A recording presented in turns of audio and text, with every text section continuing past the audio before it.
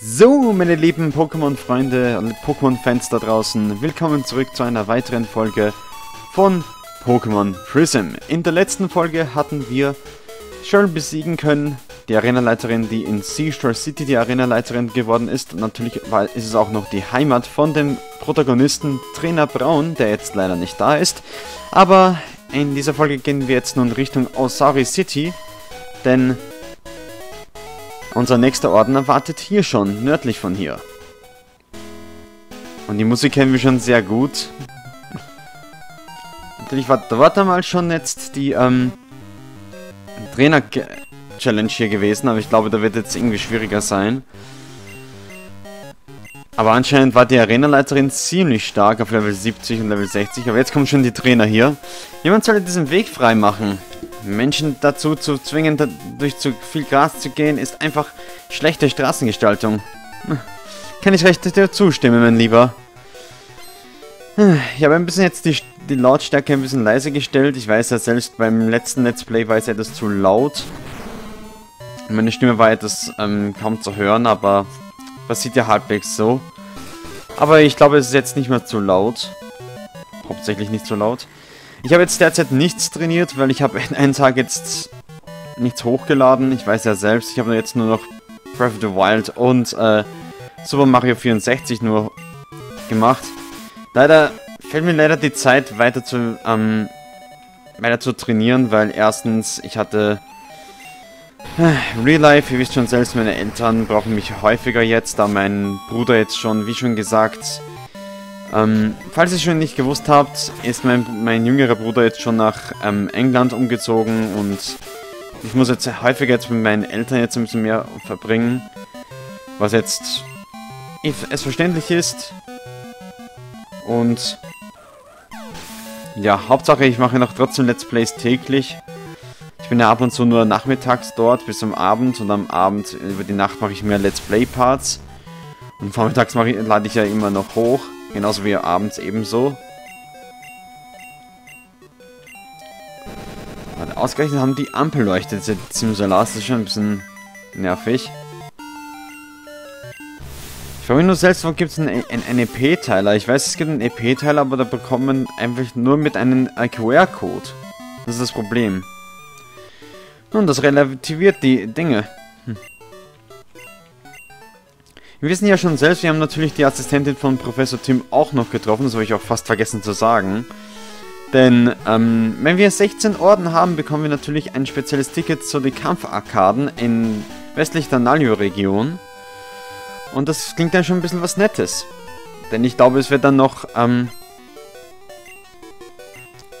schwieriger gestaltet sein mit den ganzen Arena-Kämpfe. Denn erstens, sie werden jetzt wahrscheinlich jetzt ähm, all die 21 Orden dann noch sammeln. Und dann geht es dann mit dem Rematch der ähm, Region-Liga wieder los. Und dann später, ich weiß nicht, was jetzt als nächstes kommt. Und Gott sei Dank piepst es nicht mehr so lange. Das ist dumm, die dumm. Ist ein bisschen nervig. Aber mindestens dreimal wäre es sehr nett. Ein bisschen Regen. Käfer-Pokémon sind irgendwie nervig, aber Level 78 sind sie schon extrem stark. What the fuck? Ich habe das Gefühl, dass dann die Arena-Leiterin dann auf Level 80 sein wird. Aber ich versuche dennoch äh, mit Top-Genesung und Top-Beleber und äh, Beleber mich durchzukämpfen.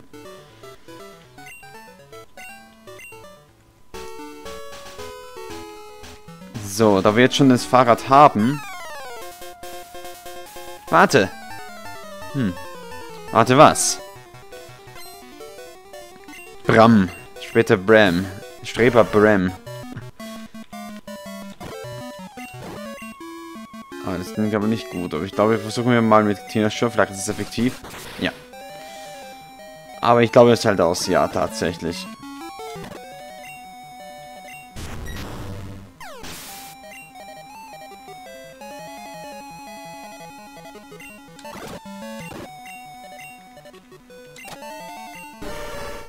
Gott sei Dank hat Schwalbus natürlich Rasierblatt. Das ist aber ziemlich neu, dass es Rasierblatt erlernen kann. Für mich, meiner Meinung nach. Ähm...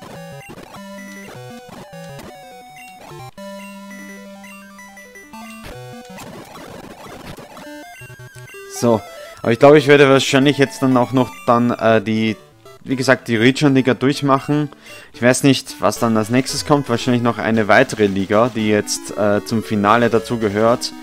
Ich habe gesagt, ich werde auch noch natürlich die Nalio-Wächter fangen, aber so wie es aussieht, wird es erst in der nächsten Version verfügbar sein. Ein paar Legis sind hier noch zu sammeln, aber mehr nicht. Ich komme aus Yoto. Oh.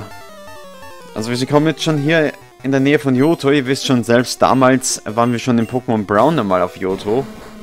Und ja, wir werden natürlich unseren Weg dann jetzt nach Yoto bahnen ob es möglich wäre. Ansonsten müssen wir dann etwas anderes dann einfallen lassen. Ja, die ist schon ziemlich stark, muss ich schon sagen. Ja, mega. Okay, dann ist Tanupto jetzt schon mal das, größte, das beste Pokémon, das wir jetzt gewählt haben in unserem Team. Piondragi. Das ist Käfer und Gift, aber... Oh mein Gott.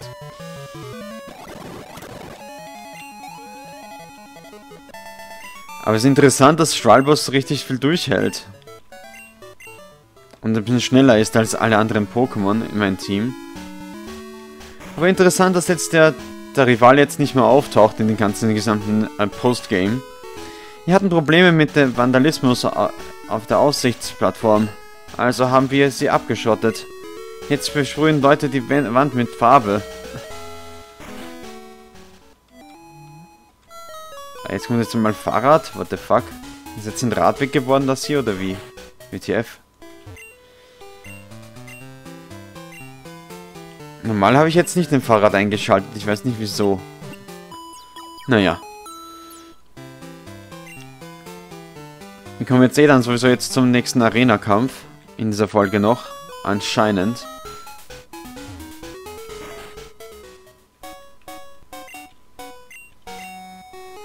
So, mal sehen. Wir haben jetzt wie viel... Wir haben jetzt leider nur, nur super Schutz, haben die nur dort. Oh Mann. Also, okay, schauen wir jetzt kurz nach, wie viel, Training, wie viel Top-Genesung habe ich. 4 und 10 Beleber und ein Top-Beleber. Das Top-Beleber muss ich natürlich aufheben. Das ist 100% sich sicher. Dass wir schon 82.000 Pokédollar haben, habe ich nicht damit gerechnet. 166. Das ist aber leider nichts, da sind nur weitere Trainer hier. Und da ist die nächste Arena, glaube ich. Ja, Lilly. Nicht die Lilly, die von Sonne und Mond, sondern die Lilly von Pokémon Brown. Osaria City Pokémon Arena. Lilly. Teamleiter Lilly. Die eiskalte, eisige Trainerin. Oh ja, das ist jetzt sehr gut. Okay, dann probieren wir mal das hier mit Tornupto. Und wir werden es sicherlich schon schaffen, glaube ich, anscheinend. Ist es für dich kalt genug? Lili liebt ihre Eis-Pokémon, also brauchst du etwas Heißes, um ihr Team zum Schmelzen zu bringen. Wir haben schon Tornupto bei uns. Dann lass uns jetzt anfangen. Die Abhänge von Klatrit sind so heftig, Alter. Hm, naja. Ich musste natürlich auch noch rausfinden, wo wir kriegen wir noch die weiteren Eiern. Wir können auch extra noch weitere Parts drehen, aber ich weiß selbst, Pokémon Prism geht ja noch weiter, dann später, sobald es eine neue Version gibt. Aber ich weiß schon selbst, ich habe jetzt natürlich auch noch die Pokémon Direct geguckt. Ihr wisst schon selbst, die heutige neue Pokémon Direct von ähm, den zweiten DLC von Sonne und Mond. Und ich muss schon sagen, es ist ziemlich klasse, dass die jetzt so, vieles, so viele Informationen reingepackt haben. Viele Leute haben leider die erste DLC ein bisschen kritisiert, weil sie etwas zu schwach sind, die Pokémon. Ich weiß, ich habe mein Team schon fast auf Level 100, also in äh, Schwert und Schild. Falls ihr es nicht gewusst habt, ich habe natürlich offscreen trainieren müssen. Und ja, es ist einfach klasse, dass die auch noch legendäre Pokémon als Dynamax reinpacken. In den neuen ähm, DLC. Und ja, es wird natürlich ein Let's Play kommen von äh, dem, den, der Schneewelt in der Gala-Region von mir. Sobald dann Pokémon Prism bald fertig ist und das noch vor, bevor es noch bald released wird, denn ich mache mach jetzt dann Platz für Pokémon ähm, Schwert und Schild. Und wenn ich das gemacht habe, tja, dann geht es dann halt los. Und wenn wir dann mit Schwert und Schild jetzt endgültig vorbei äh, zu Ende gespielt haben, ich weiß nicht, was als nächstes kommt. Wahrscheinlich dann nach Pokémon Schwert und Schild, wenn Schneekrone am Lande oder Lande der Schneekrone. Ich glaube, ich werde dann wahrscheinlich ein Let's Play machen. Ich weiß, ich habe die dritte Generation schon bereits gemacht, aber ich glaube, es wird Zeit, dass ich jetzt ein bisschen mehr Pokémon ROM Hack Let's Plays machen werde. Da die Hauptspiele jetzt eher jetzt schon, ähm, äh, eher jetzt schon auf Stillstand gestanden sind, jetzt für ein Jahr jetzt. Nur DLCs sind jetzt rausgekommen. Eine neunte Generation kommt erst wahrscheinlich in den nächsten Jahren oder nächstes Jahr hoffentlich. Ich bin gespannt, was die dann dann nächstes im Petto haben, sobald dann, äh, was als neunte Generation kommen wird. Vielleicht noch eine weitere Region oder wahrscheinlich ein Remake. Ich bin sehr gespannt. Trotzdem geben wir die Hoffnung nicht auf für ein Remake auf der Switch. Wir wissen ja schon selbst, dass sehr viel darüber spekuliert wird, dass die Switch auch noch einen, ähm, eine neue Konsole bekommt, aber wer weiß, ob Nintendo das macht. Ich bin leider kein Experte von oder eher ein Mensch, der rumschnüffelt an, Ninten an dem Nintendo Hauptquartier in Japan. Aber ich bin gespannt, was äh, für eine Konsole dann Nintendo machen wird, wenn dann die Switch tatsächlich äh, stillgelegt wird. Wir wissen ja schon bereits selbst, dass, die 3, dass der 3DS schon lahmgelegt wurde. Das ist aber eher anders als ein, ein, ein, als ein Wasser...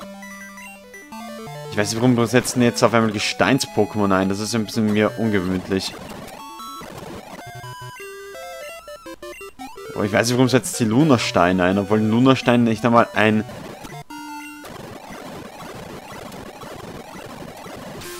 So.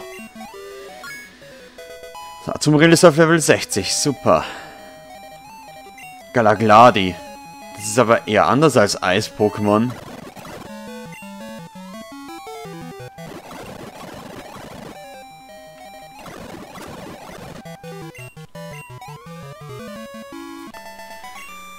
Caleb. Ich glaube, das erinnert mich den Namen Caleb. Ich weiß nicht, das war der Freund von Domtendo oder was? Oder ist der noch der Freund von Domtendo von Caleb? Ich weiß, es gibt einen Typen, der heißt Caleb. Ich weiß nicht, der heißt in YouTube so, aber ich weiß nicht, wer der, welchen YouTube-Namen der hat. Falls ihr es wisst, dann schreibt in die Kommentare. Es wurde sehr oft bei ähm, Domtendo erwähnt. Damals. Okay. Dann lass uns jetzt anfangen, Leute. Lilly wartet jetzt auf uns für einen eiskalten und sogar auch noch schmelzenden Kampf. Hi. Willst du mich gegen mich mit mir anlegen? Läuft bei dir? Ich habe ja immer Eis-Pokémon geliebt. Natürlich auch in den Wintermonaten. Ich bin von Kanto hergezogen, als diese Arena einen Leiter brauchte. Mein Team zerstört dich jetzt. Hm. Dann lass uns jetzt sehen mit Lilly. Und es ist nicht die Lilly, die von Sonne und Mond, wie schon gesagt. Verwechselt sie bloß nicht. Aber anscheinend ähnelt sie sich ein bisschen an Lilly, weil sie hat ja natürlich die Pokémon äh, bei Sonne und Mond auch ein bisschen mit Fee und Eistyp.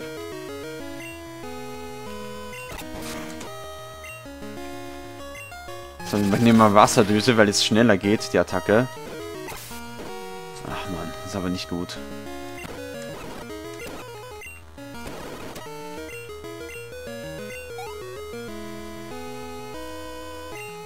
Snipuna, das ist ja mal super. Dann setzen wir mal schnell Tonupto ein.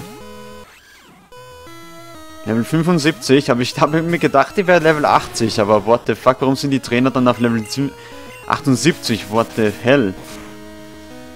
Aber ich glaube, wir werden dann wahrscheinlich im nächsten Part dann nach Yoto gehen. Das wird ja sicher sein.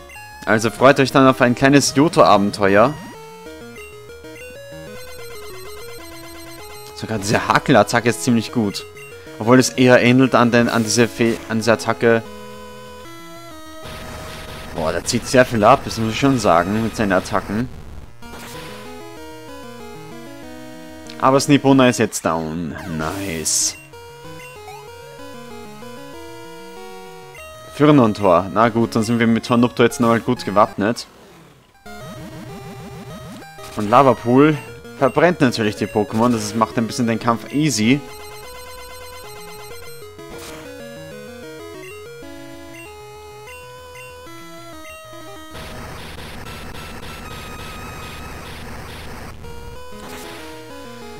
So. Und Fionunter geht mit einem One-Hit down. Was ist das hier? Okay, Geist und... Eistyp. Level 77. Sie ist aber eher in dem Level wie, ähm... Ich weiß nicht, welchen Level sie ähnelt. Ich glaube, sie ist in demselben Le Le Level wie... Cheryl. Aber Cheryl war äh, schon ein bisschen heftiger gewesen. Ich weiß, wir haben noch, äh, noch zwei, drei weitere Arena-Leiter noch zu schnappen. Aber wir machen das jetzt dann mal in Ruhe weiter gegen die Arena-Leiter jetzt in Region und dann geht es dann direkt nach Yoto und dann nach Kanto.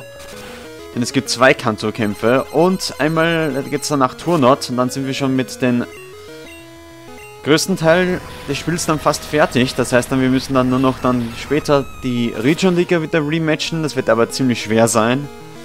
Dann müssen wir unsere Pokémon schon auf Level 100 pushen. Oder Level 80 höchstens. Und das wird jetzt noch ein bisschen weiter dauern. Ich bin traurig zur gleichen Zeit. Auch fröhlich. Vielen Dank für deine Hilfe, mich als Arenaleiter zu verbessern. Hier der Orden. Ja, bitte. Den Hagelorden haben wir jetzt erhalten. Du, also willst, du sollst doch diese spezielle TM an dich nehmen. TM 89, das ist Hagelsturm, oder? Freezeburn. Oh, das ist eine neue Attacke. Dies ist ein eisiger Angriff, der den Gegner verbrennen oder einfrieren kann. Oh, Freezeburn. Ich weiß nicht, ob das wirklich einmal in der Generationen, in den Hauptspielen mal gegeben hat, die Attacke. Ich weiß es nicht. Ich glaube eher nicht. So, jetzt glaube ich jetzt, wir müssen jetzt nur noch zum siebten Arena-Leiter gehen oder wir können jetzt nach Merson City gehen. Das wäre noch eine Alternative. Indem wir jetzt diese Route nehmen, von Heuhof City, um so nach Merson City zu kommen. Da brauchen wir nicht einmal den, die Höhle mal betreten. Ich weiß, ich habe gesagt, wir machen jetzt alle Trainer durch, aber was soll's, wir sind schon stark genug. Aber interessant, dass die Pokémon etwas schwacher, schwächer sind. In dem wilden Area. Hier waren noch weitere Trainer hier, aber so wie es aussieht, sind die da jetzt nicht mehr dort. Verschwinde aus meinem Haus. Nee, ich gehe jetzt mal hier runter. Okay, das sind jetzt wieder weitere Trainer. Jede Menge Trainer. Dann tun wir uns jetzt mal schnell vorbereiten. Wir haben jetzt all meine Top-Tränke, Top-Genesungen jetzt verkackt. Wir sind unter der Bucht. Cool, was? Yep. Interessant, dass, die, dass jetzt einmal hier die Nalio-Kampfmusik abspielt. Level 81? Wut! Okay. Okay, diesen Trainer treffe ich nochmal durch, ne? Aber 81? Übertreiben.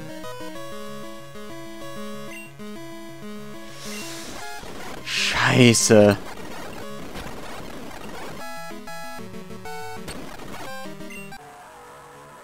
Dass die so stark werden, ist doch echt unglaublich.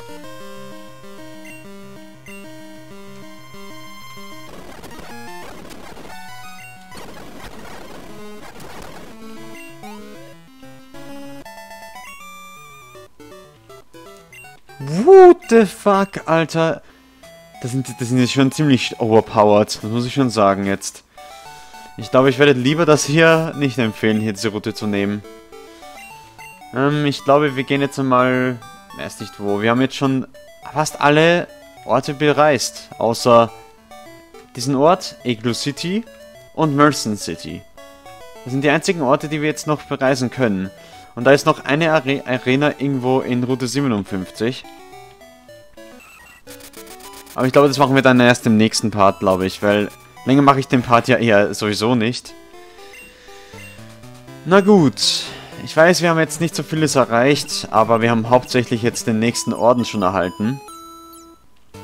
Uns fehlen uns nur noch... Wie viele Orden? So, schauen wir mal nach. Uns fehlen uns nur noch... Drei Orden in der Region-Region. Also das heißt, einer ist jetzt natürlich... Immersion City, der andere ist jetzt in Route 7 und der andere in Igloo City. Gott weiß, wer dieser Typ ist. Lasst euch überraschen. Und dann gibt es noch die Arena-Kämpfe in Yoto zweimal, einmal in einmal in Kanto und einmal in der Tunat-Region. Und ich weiß schon selbst, vielleicht werde ich dann Pokémon Blazed dann Let's Playen, also Pokémon Glazed, ist natürlich das Spiel, äh, was natürlich in der Tunat-Region abspielt. Vielleicht wenn wir dann werdet ihr dann mehr darüber erfahren, wo, was darüber über Tunat, die Tunat-Region ist. Und ja, ich glaube wahrscheinlich werde ich, werd ich Pokémon Glazed dann nach Pokémon Schwert und Schild dann machen. Mit dem zweiten DL nach dem zweiten DLC Let's Play dann halt. Na gut. Dann lass uns jetzt mal schnell zum siebten Orden gehen. Hoffentlich ist es noch möglich. Denn ich glaube, der Arena-Leiter wird ziemlich easy sein, glaube ich, dann im nächsten Part. Wir holen jetzt erstmal den Machen uns den Weg frei bis zum siebten Orden. Hoffentlich ist es noch jetzt diesmal möglich. Letztes Mal war dieser Weiße dort, der hat uns den Weg im Weg gestanden. So, dann werde ich jetzt mal schnell den Schutz nehmen, damit es jetzt ein bisschen schneller geht. So. Oh, der ist schon weg. Gut. Na gut, dann können wir jetzt schon den siebten Orden erst im nächsten Part machen, Leute. Also, wir beenden jetzt hier diese Folge, dann geht es dann direkt auf zum nächsten Orden. Dann holen wir, haben wir schon bald sechs, oder, ja, ich glaube anscheinend sechs Orden dann bald in, in dieser Region. Also, wir sehen uns in der nächsten Folge, dann holen wir uns den sechsten Orden in der Region-Region nochmal. Also, bis zum nächsten Mal. Gebt einen Daumen hoch, falls euch dieser Part gefallen hat und ein Abo da lassen und die Glocke aktivieren, falls ihr neu seid auf meinem Kanal oder falls euch mein Content interessiert. Bis zum nächsten Mal, haut rein, euer Red Nintendo. Ciao!